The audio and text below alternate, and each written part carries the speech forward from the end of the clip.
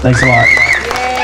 While we're clapping, let's clap for Gloria and Peter for letting us come and invade the farm every year, and for John for organizing the thing. Thanks a lot, guys.